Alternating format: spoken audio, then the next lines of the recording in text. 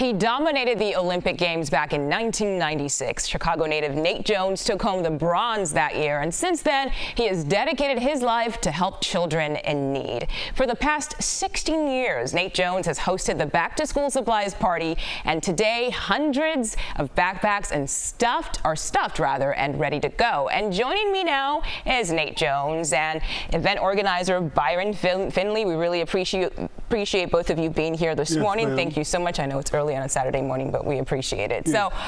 Right now, we know volunteers are setting up everything for, just for the event that steps off pretty soon. And, and this year it's being held at Taste of Cabrini, correct? Correct. Okay. and both of you are former residents of Cabrini, correct? That is so that that is important here because it seems like you're coming back to the community and also giving back to the community. So thank you both for being here. We really appreciate it. Can you talk about this event, Nate, and why it's so important? Well, it's so important because we, we as older men now, we was, it was a lot of gaming and, and people losing their lives.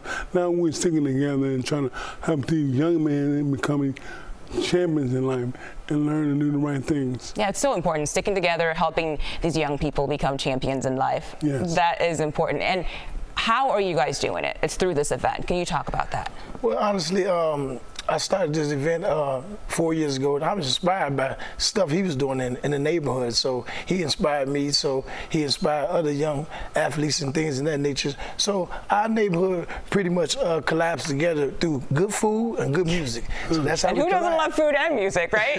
that's right. so it started uh, four years ago, and it's just got bigger and bigger and bigger. And the neighborhood, they just they counted on it. Mm -hmm. So me and Nate, we can't let the neighborhood down. And when we when we when we, you know, when we um came out the hood, we still always came back. We can't forget where you come from. You cannot forget where you came from. I really like that. Mm-hmm. Nate, you wanted to talk about the fan foundation. What can you tell us about it? Well, the Nate Jones Foundation, um, if you would like to donate, to the Nate Jones Foundation. You can send at my email, Nate Jones Foundation at gmail.com.